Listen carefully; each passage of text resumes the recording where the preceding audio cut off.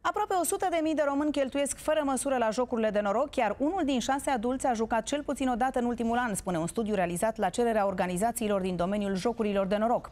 Cei mai mulți ajung la dependență din cauza altor probleme ascunse, spun psihologii. Aceștia au lansat programul Joc Responsabil, dedicat celor pentru care jocurile de noroc nu mai reprezintă o distracție, ci o obsesie. Această femeie din Iași a jucat la păcănele 21 de ore în continuu și a pierdut 27.000 de lei. Spune că de 20 de ani este dependentă de jocurile de noroc. Îmi îmbolnăvește, deci am ajuns să iau pastilii de liniște. Cum să câștigi în așa ceva? De pierdut, n-am păr în cap să vă spun. Un psiholog ar încadra acest tip de comportament la jucătorul compulsiv, adică dependent de jocurile de noroc și care se poate vindeca numai cu terapie. În România, aproape 100 de mii de oameni sunt ca această femeie. Au probleme cu jocurile de noroc. S-a ajuns la această cifră după un filtru. Înainte de a determina efectiv care are probleme de joc, a fost adus în grupul celor cu o frecvență mare de joc, de cel puțin o dată pe săptămână.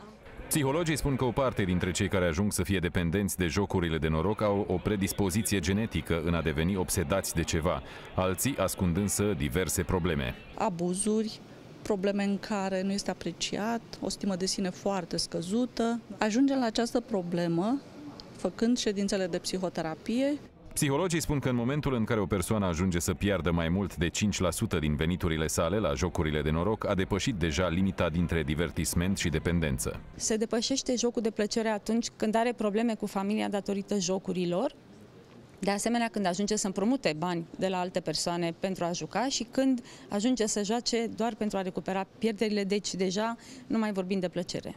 Pentru a veni în ajutorul românilor dependenți de jocurile de noroc, a fost înființată o linie telefonică gratuită la care răspund psihologii din cadrul programului Joc Responsabil. Programul include și două ședințe gratuite de terapie individuală la un cabinet specializat.